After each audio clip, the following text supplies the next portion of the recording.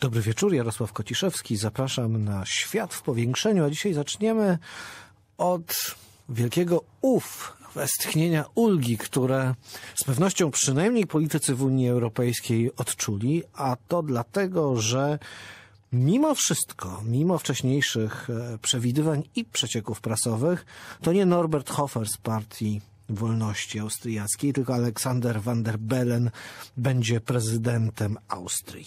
W studiu jest ze mną Rafał Pankowski, Kolegium Civitas i Fundacja Nigdy Więcej. Stowarzyszenie Nigdy Więcej. Dzień dobry, panie redaktorze. E, pan również odetchnął z ulgą?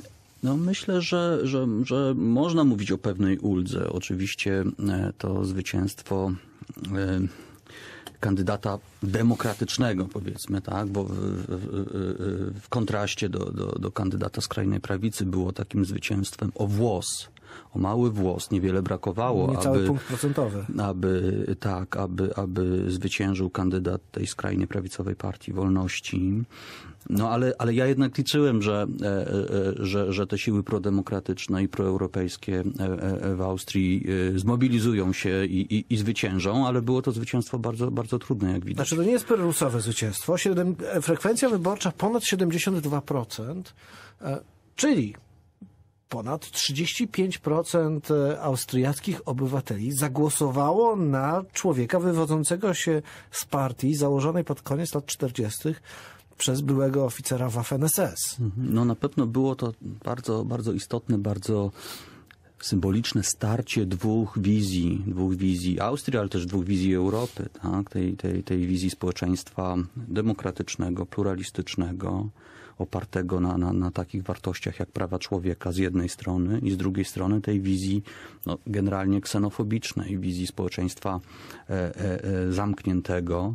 E, I oczywiście w przypadku Austrii, no, jako kraju o specyficznej historii, kraju niemieckojęzycznego, prawda, e, takie nawiązania do, do, do nacjonalizmu, do ksenofobii, no jakby budzą e, podwójny niepokój ze względu na oczywiście pamięć o mm, o historii, e, o doświadczeniu faszyzmu, o, o, o, wsparciu dla nazizmu, e, także, które w Austrii, jak wiadomo, było było znaczne. No i Partia Wolności także ma swoją historię, prawda? Przede wszystkim symbolizowaną przez postać Hajdera, który był przez wiele lat szefem, liderem tej partii. Prezydentem I... Carynti, potem wszedł do rządu, co spowodowało obłożenie Austrii w latach 2000-2002 sankcjami dyplomatycznymi przez Unię Europejską. No, oczywiście. I ostracyzmem to, to, to, to należy pamiętać, należy o tym pamiętać. Sam Haider zresztą później wystąpił z tej partii, powołał własną, własną organizację, która, która po jego śmierci w zasadzie w zasadzie już niewiele wskurała na tej, na tej dużej scenie politycznej, no ale, ale Partia Wolności jest rzeczywiście mm, mm, taką formacją o, mm, o, o, specyficznym bardzo profilu, o specyficznej historii i, i o takich bardzo niebezpiecznych tendencjach, które są chyba czytelne, czytelne dla wszystkich dzisiaj one są czytelne, jeżeli odwołamy się wprost do historii. Jeżeli e, sen o Hajmacie odniesiemy do e, snu o Hajmacie z lat 30. E, jeżeli ideologię pangermańską znowu przeniesiemy w realia lat 30. Ale może te oceny jednak są troszkę krzywdzące, bo po pierwsze jednak minęło kilka dekad, trzy pokolenia. Poza tym może to są postawy po prostu patriotyczne bo e, wielu zwolenników, czy może inaczej, e, wielu również Polaków niechętnych migracji mówi, że to na tym polega patriotyzm, na obronie wartości, no w naszym wypadku nie hajmatu, ale e, obronie własnej ziemi, własnej kultury, własnego dziedzictwa. No, można, można stwierdzić, że to jest jednak chyba takie bardzo archaiczne pojmowanie tożsamości narodowej, które, które we współczesnym świecie, we, we współczesnej Europie no, zbyt często okazuje się po prostu dysfunkcjonalne, czy, czy wręcz szkodliwe, czy wręcz niebezpieczne, tak, jeśli chodzi o kwestie e, prawda, budowania muru e, symbolicznego, czy wręcz fizycznego, jak, jak w przypadku Austrii niedawno, prawda, na, e, Przepraszam bardzo, Austriacy jasno powiedzieli, że oni nie budują muru, oni budują furtki z elementami pozostałymi między nimi. No tak, to jest, e, jak widać, stara szkoła eufemizmów e, austriackich. E, Zresztą akurat ta instalacja, tak, ten mur został zainicjowany przez rząd nie skrajnej prawicy, prawda, tylko, tylko rząd dotychczasowy, rz- rząd socjaldemokratyczny, który, jak widać, w sposób mm, dość nieudolny, dość nieskuteczny pró- próbował przejmować pewne elementy, nawet nie, nie, nie retoryki, ale, ale mm, propozycji, e, e, e, tych propozycji formułowanych przez, e, przez populistyczną prawicę, co sukcesu wyborczego, jak widać, nie, nie przyniosło. Wręcz przeciwnie, można uważać, że, e, że dolało oliwy do ognia, dolało oliwy do ognia populizmu, ksenofobii i wręcz przyczyniło się do, do tak dobrego wyniku skrajnej prawicy w wyborach. Ale jednak skrajna prawica przegrała i to, to też trzeba zaznaczyć.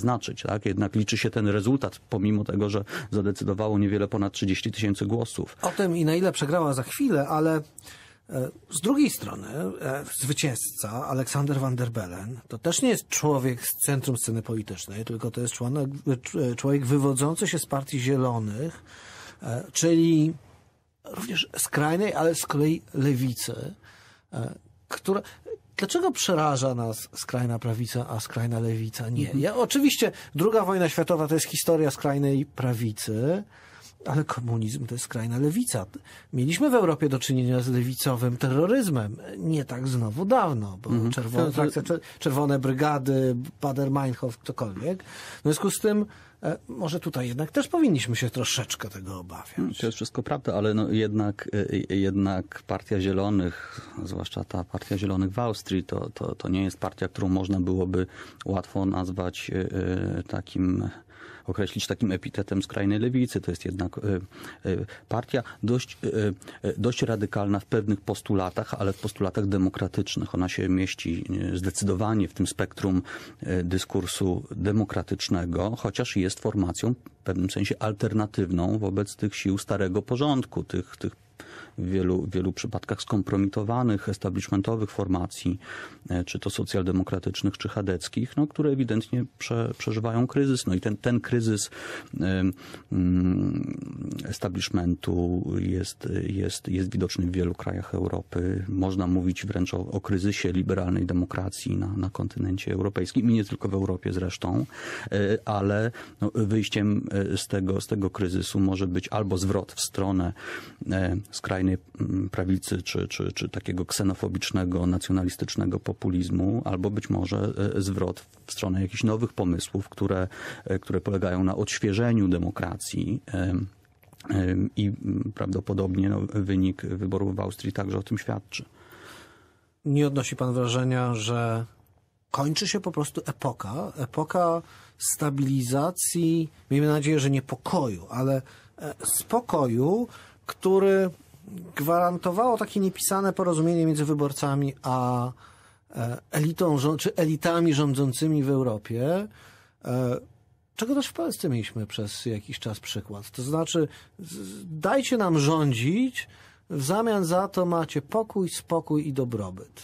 Natomiast ten dobrobyt ewidentnie w Europie Zachodniej się zakończył. Już teraz widać, że młode pokolenie Europejczyków nie będzie w stanie uzyskać poziomu życia, e, jaki widziało u swoich rodziców. Czyli na skalę kontynentu mamy do czynienia z regresem. E, W związku z tym również te, te elity, e, ci panowie, którzy, Amerykanie powiedzieli dudes, dudes must go, takie amerykańskie też hasło się pojawiło, e, czyli kolesie, o, to po polsku będą, kolesie po prostu nie dają rady, nie nadążają za współczesnym światem. I w związku z tym e, konieczna jest wymiana, ona przychodzi albo ze skrajnej prawicy, albo ze skrajnej lewicy. E, Patrz e, Hiszpania czy Grecja tym bardziej. Mhm. No, rzeczywiście mamy do czynienia z kryzysem demokracji e, e, w Europie, e, także w Polsce. Czy demokracji, czy kryzysem ten- elit? Bo może ta demokracja przestała funkcjonować w momencie, kiedy demokratycznie, ona stała się bardzo proceduralna, w momencie, kiedy za każdym razem wybierana była ta sama elita, która, no, której członkowie żyli jak pączki w maśle. No, możemy nazwać to kryzysem demokracji liberalnej. Tak? Farid Zakaria stworzył, ukuł takie określenie demokracja nieliberalna, czyli liberal democracy, cokolwiek by to miało oznaczać, być może jest to oksymoron. Y, być może. Y, Ten kryzys na pewno można wiązać z kryzysem ekonomicznym, z kryzysem finansowym, ale myślę, że y, tutaj mamy do czynienia z kryzysem dużo, dużo szerszym czy dużo głębszym. To jest także kryzys społeczny, kryzys y, wartości być może, kryzys tożsamości. Na ten kryzys wartości myślę bardzo trafnie zwraca ostatnio często uwagę papież Franciszek, także odwołując się do pewnych podstawowych wartości humanistycznych, które e, e, powinny e, stać e, mm, gdzieś u podstaw tego, co, co można nazwać tożsamością europejską, ale ta tożsamość europejska, tak jak ją mm, opisuje papież Franciszek, zawiera w sobie także mm, takie wartości jak, jak tolerancja, czy, czy otwartość, czy szacunek dla, dla innego człowieka bez względu na, na pochodzenie, czy kolor skóry, czy, czy religię. Więc oczywiście te dylematy są, są dylematami bardzo ostrymi, ostro zarysowującymi się we współczesnej Europie i oczywiście te wybory w Austrii no, stanowią kolejny taki spektakularny przykład, ale no, mamy teraz e, do czynienia z kampanią wyborczą w Stanach Zjednoczonych, która poniekąd stanowi kolejną ilustrację tego rodzaju dylematów, tyle że, mm, tyle że na większą skalę. To o Stanach Zjednoczonych za chwilę, a jeszcze więcej w drugiej części programu. Natomiast e, jest bardzo ciekawe, że mówi Pan o papieżu Franciszku, który e, uczy Europejczyków, sam Europejczykiem nie będąc, czym są europejskie wartości. To znaczy, świat staje na głowie troszeczkę, mam wrażenie.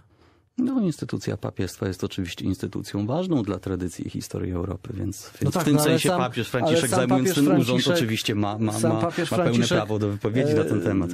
Jako przedstawiciel kościoła latynoamerykańskiego, znaczy to może szerzej na to spojrzymy. Jeżeli Mhm. spojrzymy też na to, że Europejczycy emigrują do swoich dawnych kolonii, żeby e, tam e, szukać lepszych warunków e, życia, sądzi pan, że rzeczywiście to te państwa na peryferiach powiązane historycznie z Europą są w tej chwili depozytariuszami e, europejskich wartości i tradycji? Myślę, że można rzeczywiście stwierdzić, że, że te dylematy, o których tutaj przed chwilką y, y, mówiliśmy, to są, to są dylematy na skalę nie tyle może kontynentu, takiego jak Europa, ale na skalę globalną i w tym współczesnym świecie, o którym mówi się, że jest światem zglobalizowanym, e, e, te, te, te, te, te zagadnienia no, dotyczą wszystkich. Zagadnienia e, rozwarstwienia społecznego, niesprawiedliwości, kontrastów, ale także współistnienia, tak? koegzystencji ludzi, e, różnych grup, e, e, czy to etnicznych, czy kulturowych, czy, czy, czy wyznaniowych i to są, to są wyzwania, które są bardzo ważne dla współczesnej Europy, ale nie tylko dla Europy oczywiście. I w tym sensie ten, ten głos papieża można potraktować jako, jako, jako głos odnoszący się do, mm, do zagadnień dotyczących no, nas wszystkich na Ziemi dzisiaj. Mówi Pan o rozwarstwieniu, o konfliktach, o, mówiliśmy o sporze między elitą a wyborcami, e, ale czy nie odnosi Pan wrażenia, że e, rozwarstwienie zawsze było? Spory między em, ludem a elitą, niekoniecznie w demokracji, zawsze były. Różnica polega na tym, że dzięki e, internetowi, dzięki współczesnej komunikacji my po prostu je dostrzegamy z dużo większą wyrazistością e, niż kiedykolwiek w e, przeszłości. I może to jest e, rewolucja francuska też miała miejsce i ona mniej więcej wynikała z tych samych problemów. No, myślę, że rzeczywiście internet y, y, y, w znacznym stopniu zrewolucjonizował współczesną kulturę, także w kwestii postrzegania, dostrzegania tych, tych kontrastów, o, o, o, o których pan redaktor y, y, wspomniał, y, które to kontrasty nie są tylko kontrastami wewnątrz danego społeczeństwa, ale także kontrastami pomiędzy globalną północą i globalnym południem, tak zwanym. Więc te zagadnienia globalnej odpowiedzialności i solidarności wynikają także z tego, że no, technologia sprawia, że, że te kontrasty są postrzegane w sposób y, e, znacznie ostrzejszy niż, niż kiedykolwiek wcześniej. To, to, to jest fakt. Mm, ale także mm, technologia wpływa na to, jak, jak postrzegamy świat wartości. I, i technologia taka jak internet y, y, przynosi ze sobą y, bardzo szerokie spektrum wartości, czy też prowadzi do zachwiania pewnych wartości, które były do tej pory uznawane za, za tradycyjne i reakcja na to zachwianie świata wartości również bywa rozmaita. Może być to reakcja ksenofobiczna, reakcja polegająca na zamknięciu albo, albo reakcja polegająca na, na, na dostrzeżeniu plusów wielokulturowości i różnorodności. E, wspominał Pan o Stanach Zjednoczonych. Teraz zastanawiam się, mamy do czynienia z kampanią wyborczą. Z jednej strony Hillary Clinton, z drugiej strony Donald Trump.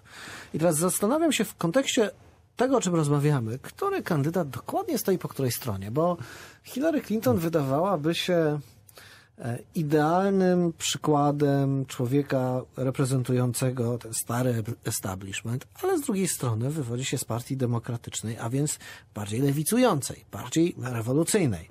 Z kolei Donald Trump, który fantastycznie czyta nastroje społeczne, jest populistą, ale wywodzi się z partii konserwatywnej, republikańskiej. E, I obiecuje odbudowę tradycyjnych wartości. W związku z tym tutaj powstaje jakiś kolej, kompletny miszmasz. Hmm, rzeczywiście jest, jest spore zamieszanie. Ja parę dni temu dosłownie wróciłem ze Stanów Zjednoczonych, dokładnie z Alabamy, e, więc w pewnym sensie byłem świadkiem tej, tej kampanii wyborczej i widać, że panuje spora dezorientacja i wygląda na to, że Trump może tych wyborów nie wygra, ale na dzisiaj ma sporą szansę.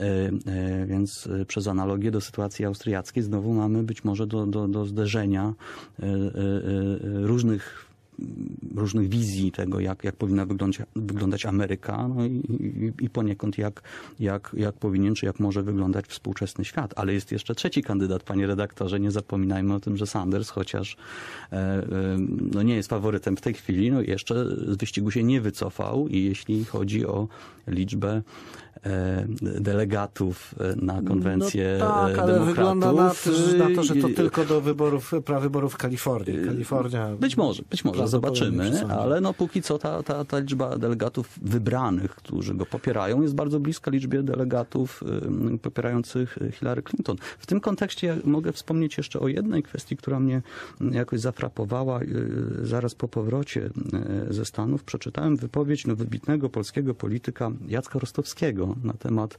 kandydatów w wyborach amerykańskich, w tym na temat kandydata Sandersa. E, I e, były polski wicepremier powiedział, że Sanders nie ma żadnych pozytywnych uczuć e, wobec Polski, co wydaje mi się mm, no, sporą, sporym nieporozumieniem jednak, dlatego że związki akurat e, tego kandydata, Bernie, Bernie Sanders, ma związki z Polską bardzo, e, bardzo e, wyjątkowe. Związki rodzinne. Jego ojciec tak urodził się w, w Słopnicach w Małopolsce i ja miałem okazję rozmawiać z Bernie Sandersem na, na ten temat przy okazji jego wizyty w Polsce i, i wiem, że akurat jego, jego, jego emocjonalne związki z Polską są bardzo silne, o czym zresztą on często mówi w swojej swojej kampanii. E, więc, więc warto o tym, o tym wiedzieć, że jeden z trzech e, czołowych kandydatów na urząd prezydenta Stanów Zjednoczonych bardzo, bardzo mocno podkreśla swoje, swoje związki z Polską. A ja bym chciał jeszcze wrócić do wyborów austriackich, od których e, zaczęliśmy, żeby zacząć puentować, podsumowywać naszą rozmowę.